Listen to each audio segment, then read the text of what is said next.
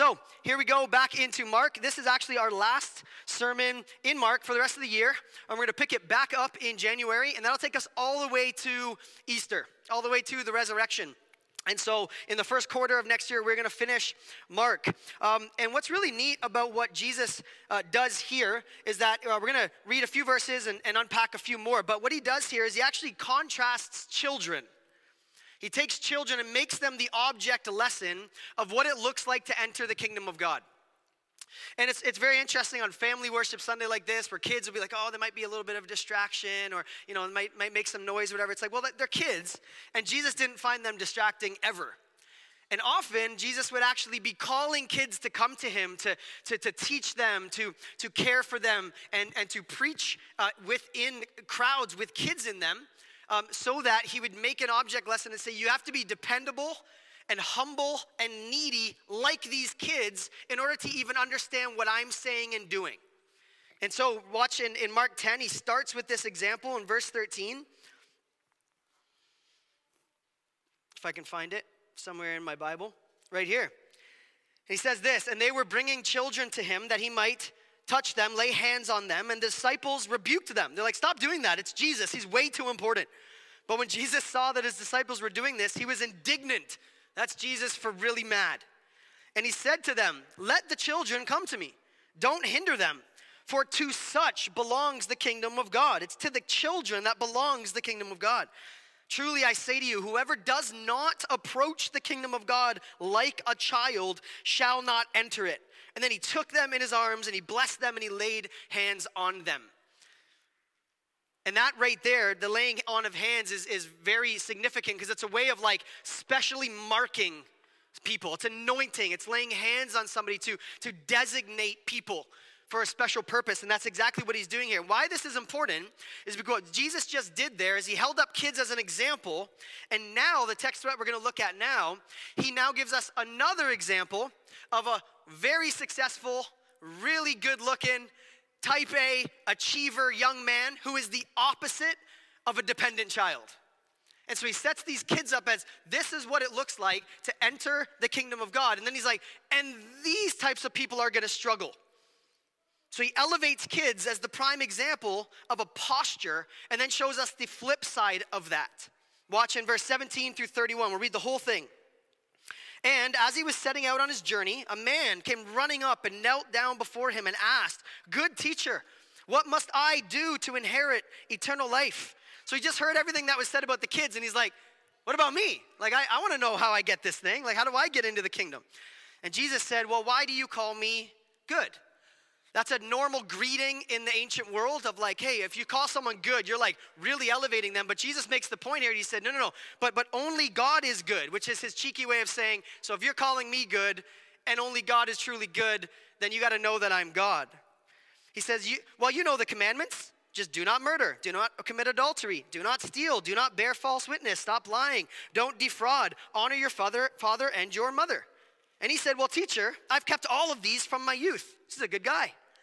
And Jesus, looking at him passionately in the Greek, it's amazing that he, in all the crowds, he makes eye contact with him and he loves him. That's the key. Out of compassion and love, he said to him, But you lack one thing. So he doesn't even say, like, no, you haven't. Don't be silly. You haven't nailed those. He's like, maybe you have. You're a good guy. But you've, you've forgotten one thing. Go and sell all that you have and give it to the poor, and then you will have treasure in heaven. And then come and follow me.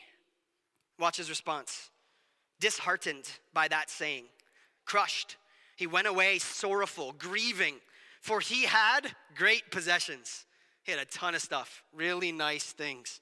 And Jesus looked around and said to his disciples, How difficult it will be for those who have wealth to enter into the kingdom.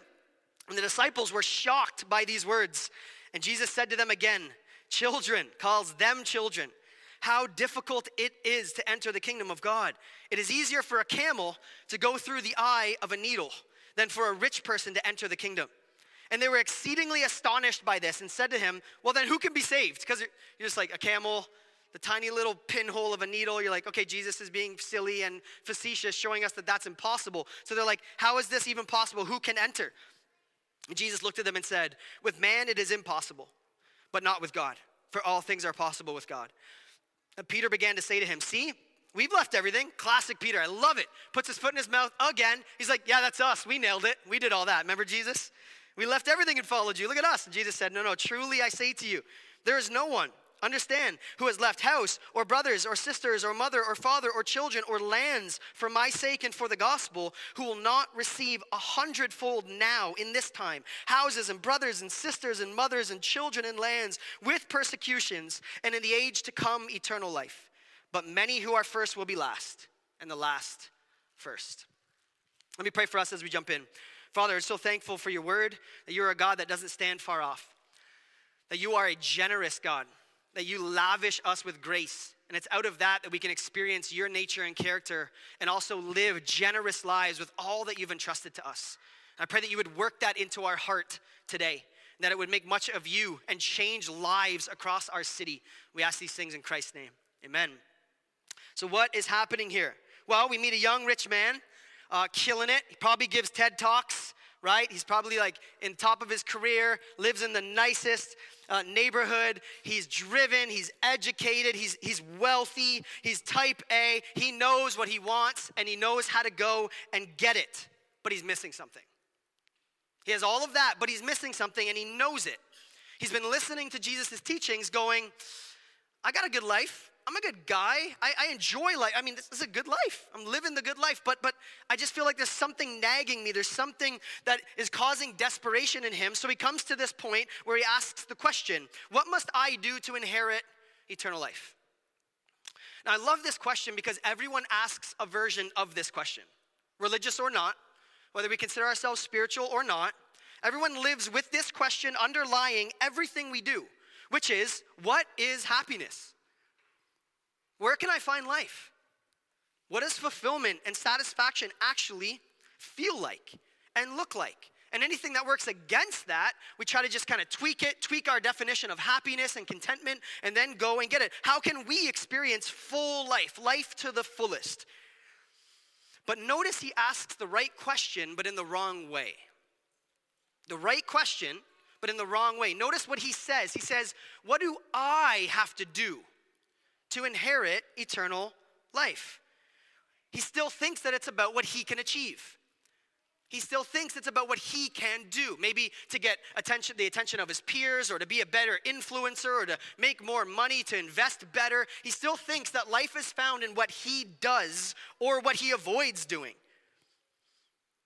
But the story of the Bible and what Jesus is under, kind of pinning under all of this, that the story of the Bible is that life isn't found in what we do or avoid doing, but it's in surrendering all of life to the God who made us. And that nagging question is sitting under the surface for this young, rich ruler. And notice the key word inherit eternal life. Has anybody received an inheritance before? What do you do to receive an inheritance? Nothing. Diddly squat. You do not get an inheritance from behavior unless they cut you out of the family and it's because of your behavior. But besides the point, pray about it, all right? You don't get an inheritance because of your behavior, you get an inheritance because of blood. And that's exactly the point here. He's like, How do I inherit all of what you're saying, Jesus? Because uh, he's attracted to Jesus. He's like, Hey, your teachings are good. I want to know who you are. Maybe I even want to consider following you.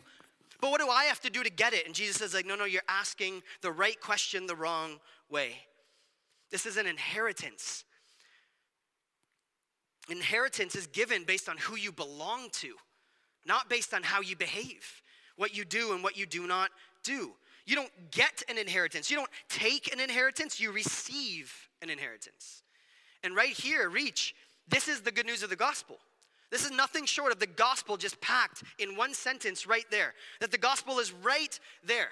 That we receive what we receive, not based on how well we've lived or how poorly we've lived. You don't get cut out of the family at all but that Jesus, the Son, over the whole family would come and actually die in our place, regardless of where we're at, and adopt us into the family as sons and daughters, as brothers and sisters. And that's exactly why Jesus finishes the way that he does. He's like, Oh, you think that you, you have a sacrifice for walking away from different things or tension in your family at Thanksgiving? No, no, no. You're gonna get way more brothers and sisters as you come into the kingdom of God. You're coming into the family because your life is changing. It doesn't belong to you anymore. Your life now belongs to the God that is over all things. So we have to remember that the gospel is something radically different than religion, but also radically different than non religion. Religion says, What can I do to earn God's attention or grace or forgiveness or blessing? What do I have to do to get from God? That's what religion does. But non religion still does the same thing. It says, What can I do to find life? What can I do to be happy? What can I do apart from God, because I don't, I'm not into the religious thing, to be happy and find life? And the gospel comes and it's something else entirely different than both of those options, amen? That the gospel shows up and it's, it's that God sees you already. It's that God loves you, accepts you, pursues you at your worst so that he can give you his best. That's the gospel. Not pinned on what you're doing or not doing at all. And that's so freeing when we goof up. Amen? Like it's so freeing that you we don't have to stay in guilt or shame or condemnation when, not if, when we fail. When we get locked into just bad habits and behaviors and all sorts of nonsense, that we can actually step out of that and say, hey, no more guilt, shame, condemnation, because it's not even based on my merit and value before the Father is not based on how well I've been doing or how poorly I've been doing. It immediately lifts the weight and the burden of religion and non religion from our shoulders because it was already put on Jesus' shoulders. Romans 5 8 is my favorite example of this. That God demonstrates, He shows His love for us like this. How? While we were yet sinners, Christ died for us and gave His life for us. The gospel is experienced not when we figure out what we can do and, can, and, and need to stop doing, but the gospel is experienced with open hands, nothing to offer coming as poor beggars to the one who has everything that we need. Do you remember how Jesus' Beatitudes start in the Sermon on the Mount? The blessed are those, the blessed are those. Remember how it starts? Blessed are the rich in spirit? No. Blessed are the poor in spirit. Theirs is the kingdom. Poor, meaning I got nothing to bring, nothing in my hands, empty pockets. Simply to the cross I cling, right? This kind of poverty of spirit complete and utter dependence upon God. And that's why this young man is missing it. Because he still thinks that all that he has belongs to him. He still thinks that he went, he worked hard, he's a self made young man, he's killing it in all the ways that you could be killing it at his age. Maybe he's in like the top 30 under 30 in Forbes, Dusty Foot magazine, whatever edition that he'd be in, right? But the contrast between children of utter dependence, utter dependence, like our children would not have gotten dressed this morning, they wouldn't have eaten food, they probably wouldn't have woken up on time if we did not wake them up. They're utterly dependent upon us. And this young man is independent. He's a self made man. And Jesus is making this contrast, saying the way into the kingdom is humility.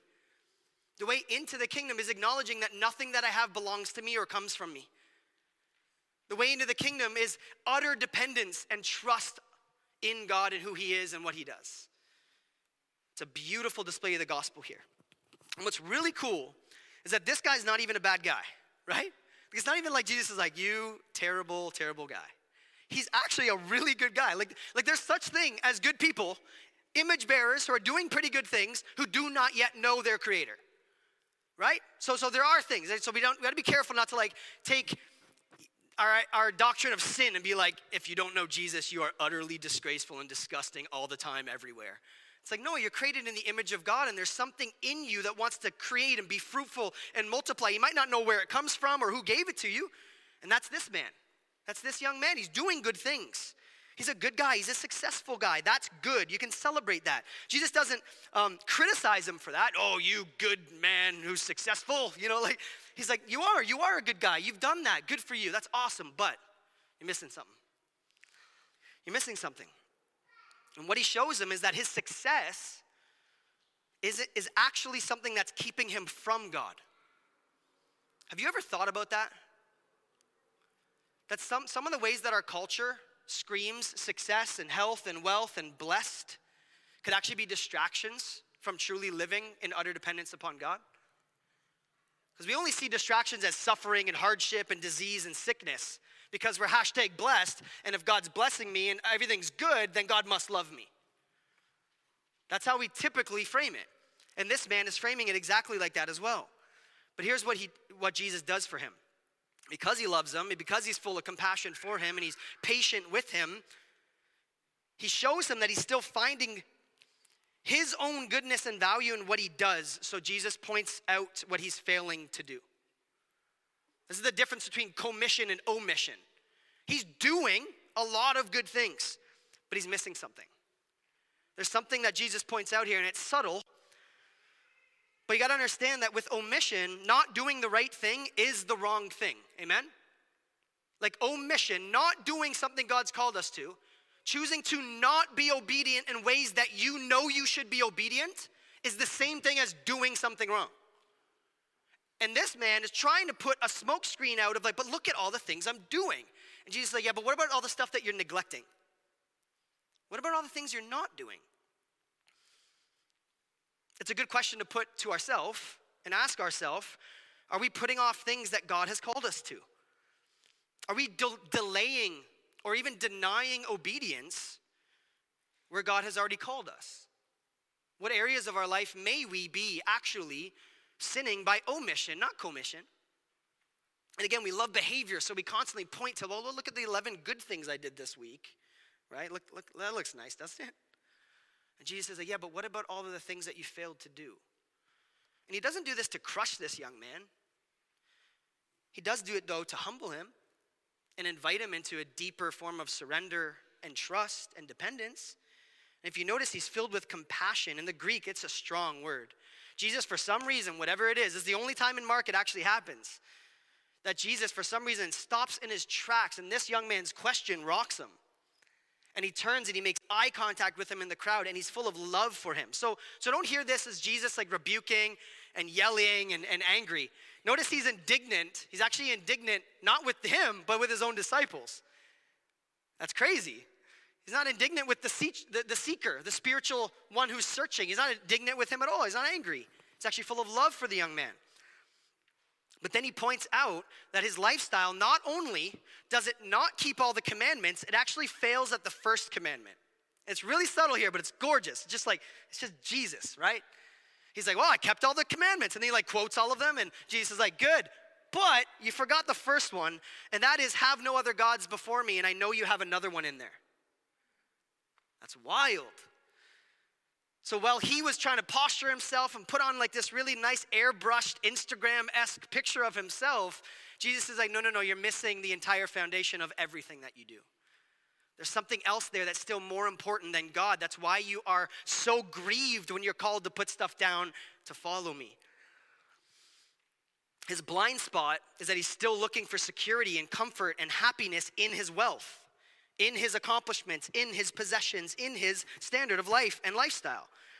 He's not a bad guy living for bad things, but he's still finding his identity in things that will keep him from dependence upon God. So, what does he do? Jesus invites him to lay all that down and follow him, and he's crushed. He likes this stuff too much. This is a really important point because if there are things in your life that you struggle to surrender to God, or sacrifices that you still really fight to make, they're likely too important. And it's not just like, oh, maybe it's a little bit too important, but the Bible actually calls earthly things that become ultimate things idols. That they're things that promise to offer you what God only can, and ultimately they overpromise and underdeliver. And if you have a human heart beating in your chest right now, guess what else is there? Idols. Fighting for your primary affection, fighting for dependence, fighting to distract you from following God with everything, reckless abandonment of everything that you have because it ultimately came from Him in the first place. Idols show up and say, No, but what about not this though? Like, not, not this part. Like, you'll do a better job in this domain, like managing this section.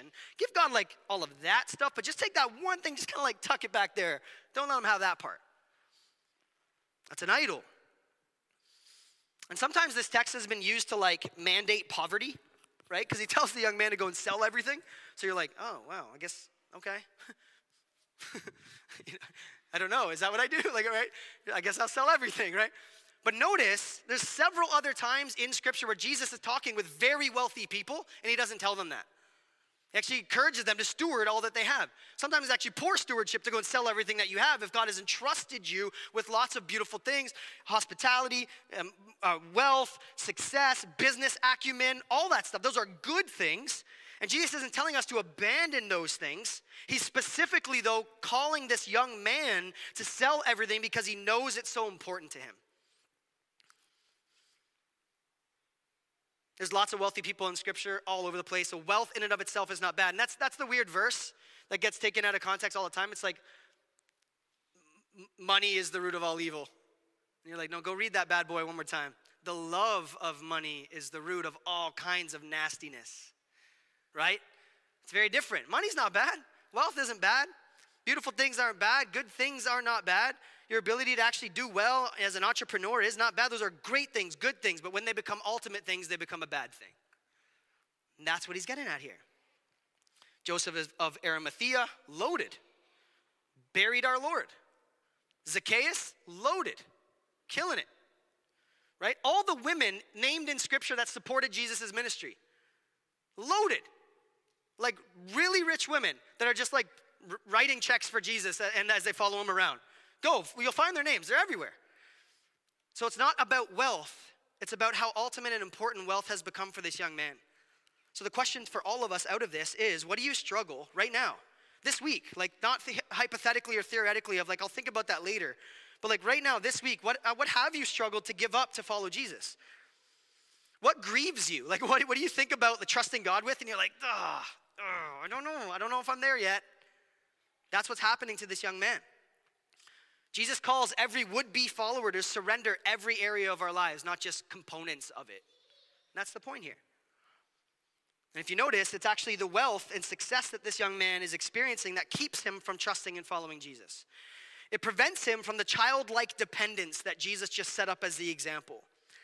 And this is definitely true of us in the West. If there's anything that we are guilty of, we're guilty of a lot of things. But if there's one thing that we are definitely guilty of, maybe more than anything else, is our, that our materialism and North American kind of Western prosperity keeps us from health, helpless and healthy dependence upon God.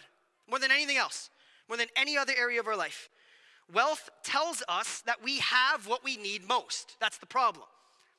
Ultimately, though, it's a lie, right? It's an illusion. Wealth can't give us what we need most. It can give us good things, but ultimately we'll end up like this young man with that nag underneath the surface of there's something else. I'm still missing it. I'm still missing something.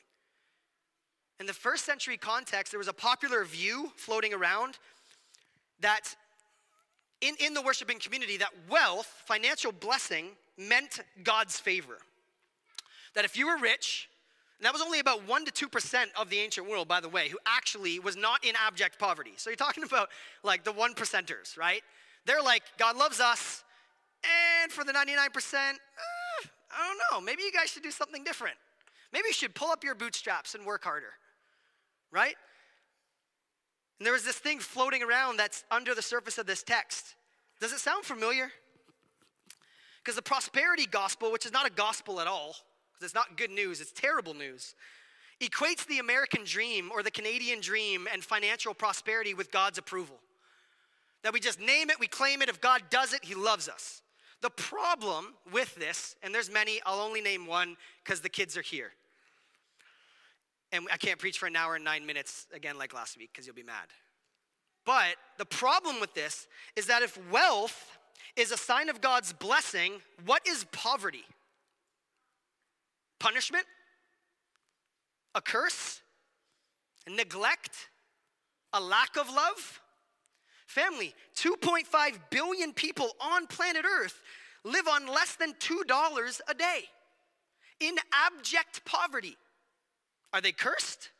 Are they forgotten? Are they not loved? Are they overlooked? Here's another one. Most followers of Jesus today on planet Earth are poor. And not just underneath the poverty line, but live in abject poverty.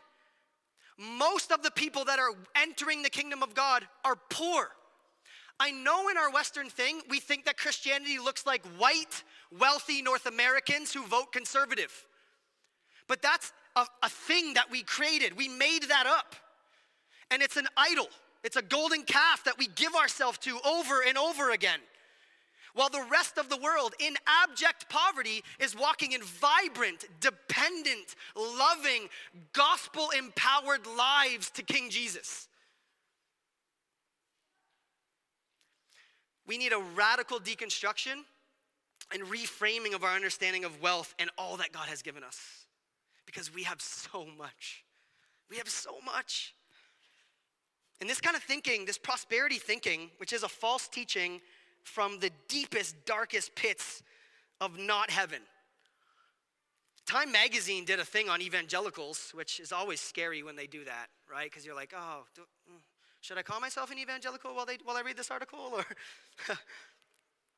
61% of professing evangelicals in North America believe that God wants them to be prosperous. That's a lot of people. 31% believe that if you give money to God, He's gonna give you more. He's just like this candy machine, right? It's just like, I'll just put in a quarter and 30 Tootsie, Tootsie Rolls come out, right? He's just the means to the end of what I really want, which is a nice life and a nice green grass, a nice house, and kids that smile, at least in public or whatever. It's like God is just the means to the end of my true God, which is all of that, a lifestyle that I've decided I want to give myself to. Four out of 10 evangelical churches fall in line with the prosperity theology. 40% would have some kind of underlying belief that God wants you to be rich and doesn't just want you to be rich, but actually, if you come and pray like this and speak in tongues like that, or worship like this and dance like this and give like that, that God's gonna give you more. This is not the gospel. This is not what Jesus just started with, with an utter dependent, open hands, empty pockets approach to come and actually worship King Jesus and enter the kingdom. It's not. It's a false gospel. And so we have to be very careful here, okay? This is where I'm gonna pastor you we can miss the point of this text. We can miss the point of Jesus' teaching here because we don't consider ourselves as rich. Right away, you can check out and be like, no, I'm like the kid. I'm like the, the dependent kid because I know Jesus, yeah, right? No, no, no, no. No, no, you're the rich. And I'm the rich. And the only reason why we don't believe that we are rich and materialistic and self indulgent is because we live here. Okay, don't miss that. That's the only reason you don't think you're rich is because you live here. Right? And again, as soon as COVID like dies, just like travel, get out of here. Go. Like get out of North America and go and actually spend time and see how the rest of the world lives. You will come home grieving your wealth, looking at how you can be more generous because you will actually see how the world lives. We don't think we're wealthy. We don't think we're the young man here because we live here. And you know why this is so crazy and so intoxicating? Is because there's always somebody with something more than you and I, right? Like, so I got like my Kia Forte, and I drive by a Tesla, and I'm like, oh, my Forte kind of sucks. It's like, but only 4% of people on planet Earth have a car. I'm like, oh, wow, I'm rich again. I love my, I'm like hugging my Forte in the morning. Oh, Forte, you're so lovely. Even with the crack on the bumper, you're beautiful as you are, right? Like, do you see what happens though? The coveting and the comparison game is never ending.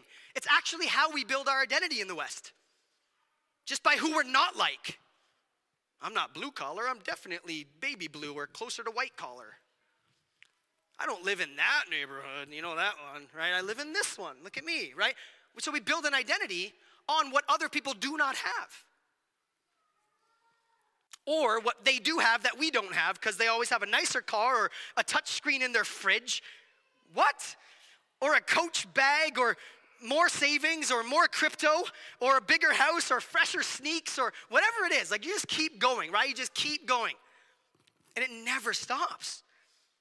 We are the wealthiest civilization of history. We are, you and me. I know we don't feel like it when we drive through down Lakeshore and see all the Teslas, but we are.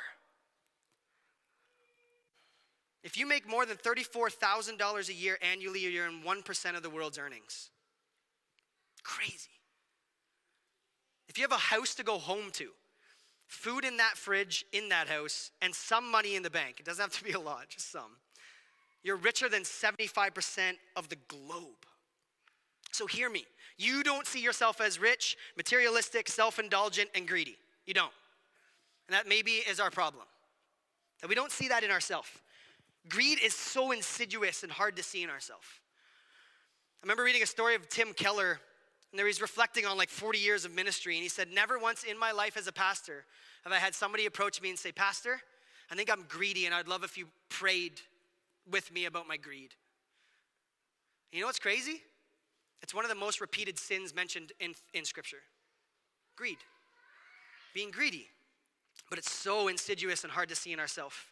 So understand that although you don't see yourself as wealthy, the rest of the world looks at us and sees wealth. The rest of the world looks at us and sees excess. The rest of the world looks at us and sees obesity and muchness and bigness and manyness and self indulgence because we are. So Jesus uses an absurd and funny image so we don't miss the point. With the camel and the eye of a needle, it's like it's really hard for an elephant to get in a Mini Cooper. Like, yes, very hard. Almost impossible, you'd say. Yes, very impossible. That's like you and I getting into the kingdom of God. And you're like, huh? Right? That's, that's what he's doing here. Camel through the eye of a needle. You know the part that you can't get the thread in when you need to go sew something?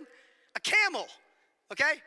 with like all of its duffel bags on it, you know, walking in the desert, okay? That camel going in there, it's impossible.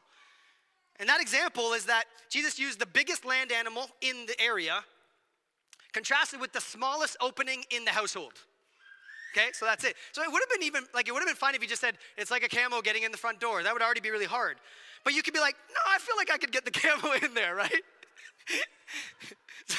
Some of us contrarians would be like, ah, depends how hard we push. I think we could get him in there. Jesus wanted to make sure that we didn't miss the point that this is impossible. But that, it's not impossible with God. And that's the good news.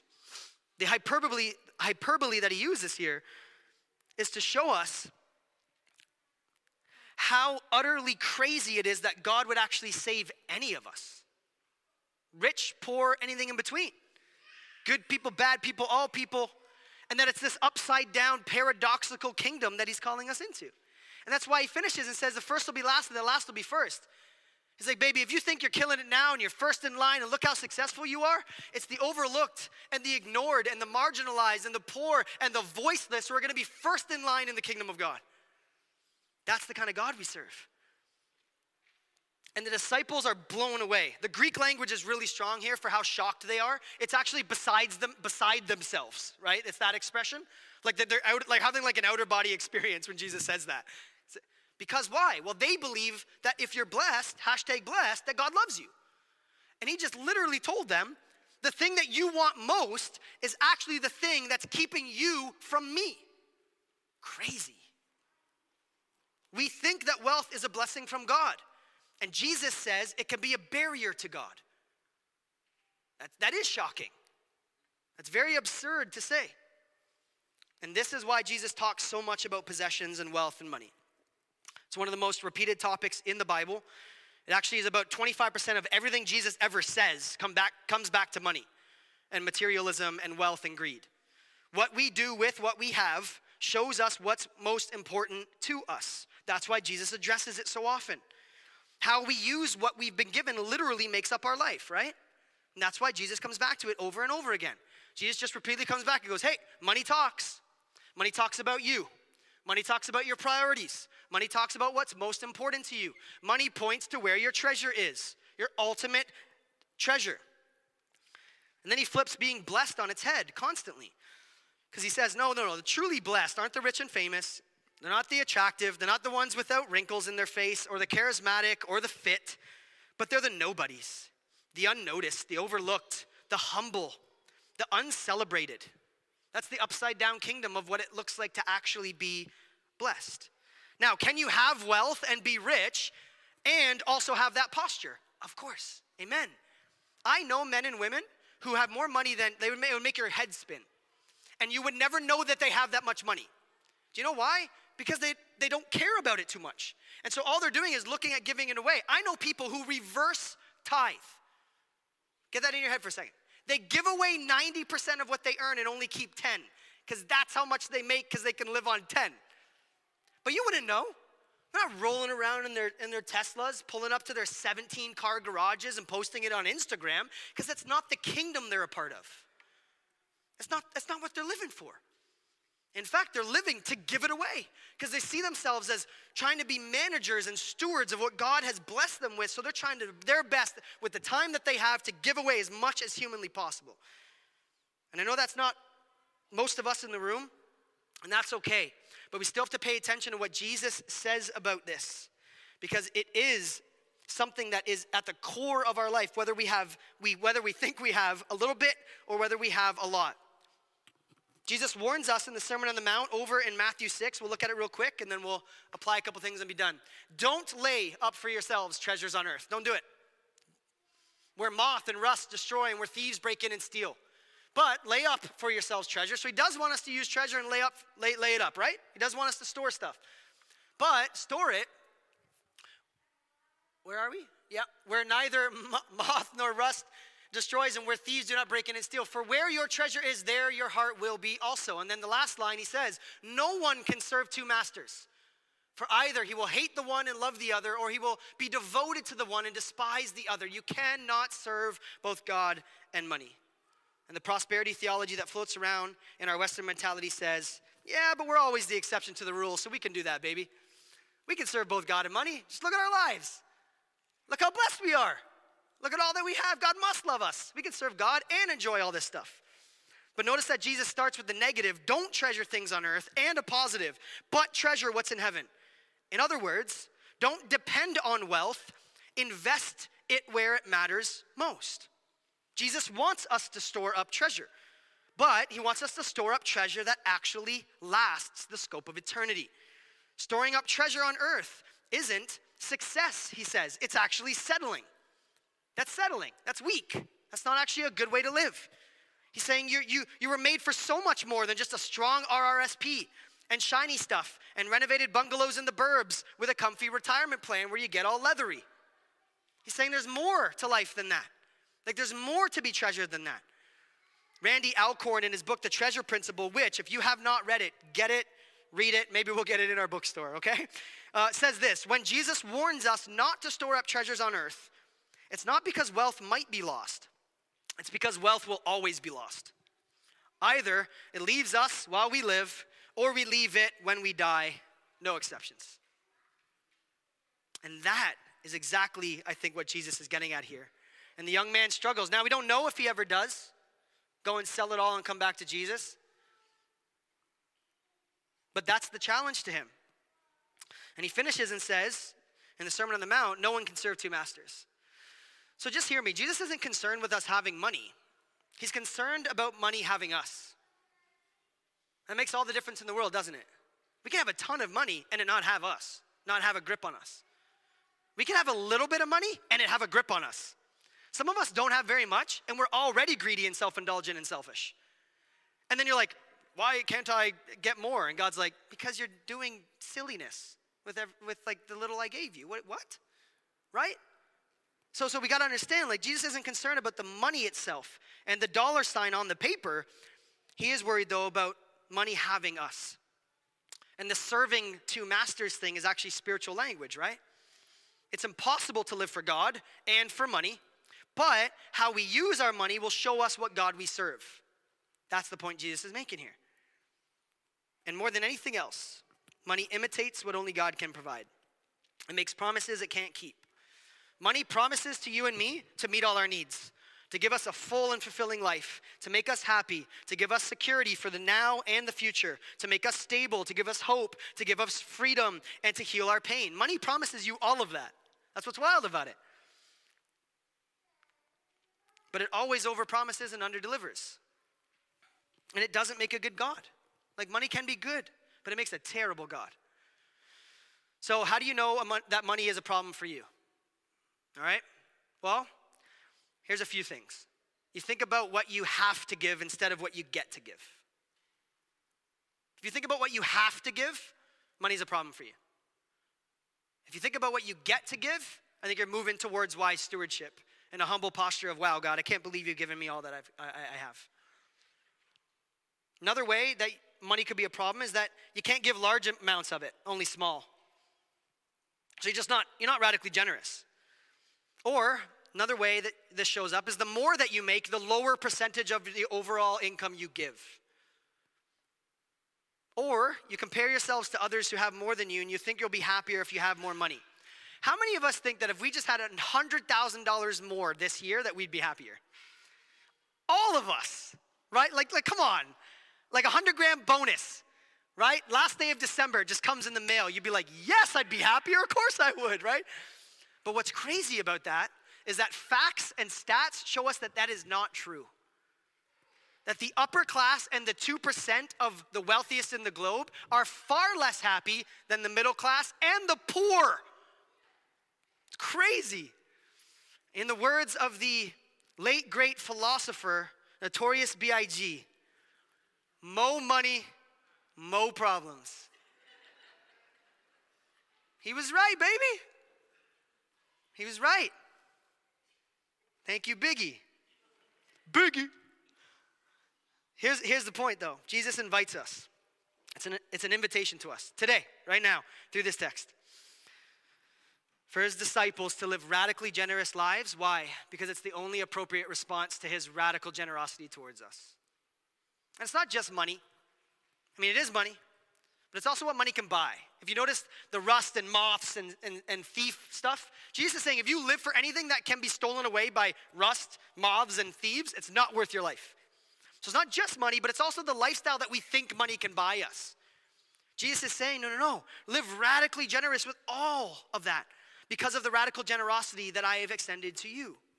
That there's a humble posture of, wow, God is radically generous, and I get to respond to his generosity by also going and providing for people's needs and being open with all that I have and open handed and, and just be radically generous. Allow him to tell me not what I not have to give, but to allow Him to tell me what He wants me to do with what He has already given me.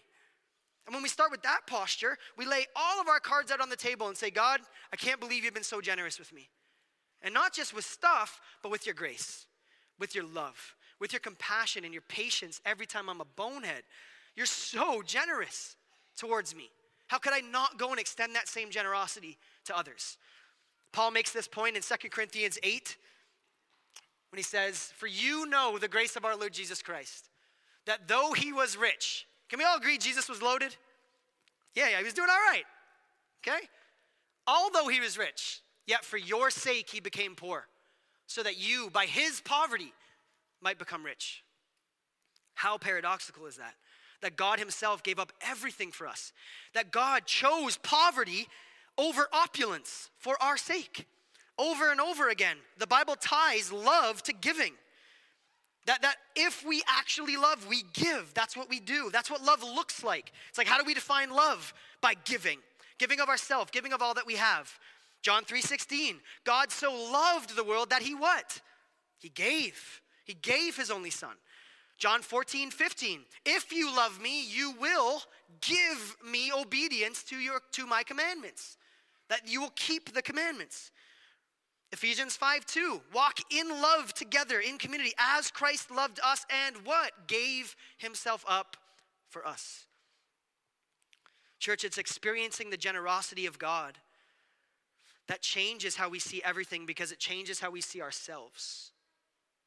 That we actually end up seeing ourselves as humble recipients of all that God chooses to give us rather than self made people who go and get it go and get ours. We just say nonsense, right? Like, get it. Mm, savage. Stop it. And that's radical generosity. That's the radical generosity of God.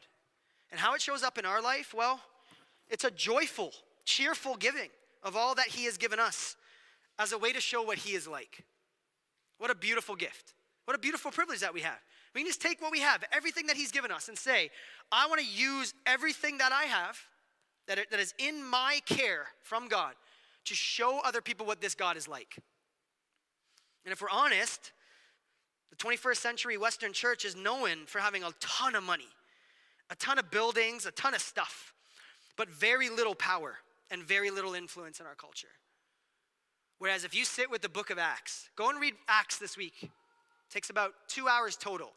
Turn Netflix off, read Acts. Your soul will thank you. The first century church throughout the book of Acts was known for generosity and power. Generosity and power. And they're tied together. So, where can you grow in generosity? Especially as we think about December and we go into the holiday season. Rather than just amass more gadgets that we don't need, that our kids are gonna forget about in literally 36 hours, like less sometimes, right? What would it look like to go into the, this season reflecting on the radical generosity of God towards us? Not to just buy stuff for each other. And again, gifts are great, they're beautiful, love gifts. Love receiving them, especially. I'm a terrible gift giver. 11 years of marriage, I'm growing, okay? Pray for me. Gifts are beautiful, beautiful things. But all that God has given us is not just for us to enjoy and for those closest to us, but for those who don't have what we have. So, how can we practice this? How can we practice giving as a response to God's generosity? Well, think for a minute, couple questions, we'll pray, and we're done. But just think for a minute what has God entrusted to you? Just take inventory quickly. Just take stock of everything that is under your care right now. Relationships that are in your care, jobs, careers, talents, gifts that you have, spaces that you find yourself in, whether it's your home or it's your, your street or your neighborhood or, or your workplace or your campus, wherever you find yourself, that's a space to be stewarded money, wealth, stuff, possessions that you have, time, energy, attention. We've talked about this a lot for the last couple years that attention is maybe one of the most valuable things that we have, right? How can we redirect our attention and steward our attention well? How can you intentionally raise your standard of giving rather than your standard of living?